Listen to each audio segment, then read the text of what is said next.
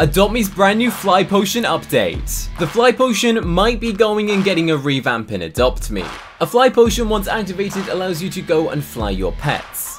Sometimes it goes and gives your pet some wings, but, but sometimes it doesn't. For an example, a arctic reindeer doesn't actually grow wings when flying. Now, what is this brand new fly potion and what is the update? Well, one of the co-founders of Adopt Me on Twitter went and created a post saying if they would be intrigued that players would want this new update to come out, where it would allow players to go and change what type of wings your pet goes and gets when you use a fly potion. So currently, whatever fly potion you use, you go and get the stereotypical wings for every single pet. However, the creators of Adopt Me are imagining that you're now going to be able to go and select what type of wings you go and add to your pet's once it's consumed this potion. So that does mean we could now potentially go and get different forms of wings. These right here are some concepts that we've gone and created. So you could go and get something such as angel wings for your pet instead of the traditional bulky, um, just traditional Adopt Me wings. You'd be able to go and customize them to add that subtle level of personality and make it kind of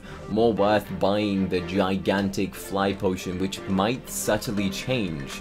Um, or maybe instead of going and having certain colors, potentially you could change the complete style of it. So you could go and have butterfly wings as you fly around, or instead of one set of wings, two sets of wings. These things right here are concepts, but this was posted by the official Adopt Me owner, which makes this interesting considering they planned on going and doing this update, but I'm pretty sure that Adopt Me wants to be focusing on some other things. It was more just like an idea of what they want to go and do in the future. So potentially in the future, Adopt Me will be allowing us to go and customize how our fly pets work and how the fly potion works in general potentially allowing us to go and get multiple variations of the fly potion inside of Adopt Me.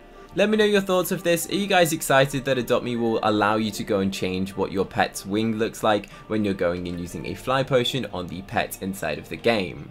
Or do you think it's just going to go and make it confusing? I do wonder if it will be editable forever, so once you've chosen, say, say for example, the fire wings, will it always be fire wings? Will there be a new icon for the fly potion in trades if it's got fire wings? It would definitely make it interesting how the customization works. Maybe it'll be in the dress up section, there'll be a new button that says dress up, and if your pet has fly, then you'd be able to change the wings. I imagine that is the only way forward of how they do this to combat scamming and all that and whatnot. Um, so let me know your thoughts down below in the comment section. Excited or confused about Adopt Me's new update, which no release date yet, no release date, but they keep coming out with a bunch of updates very quickly, very soon, so I'm very much intrigued when this will be coming into the game.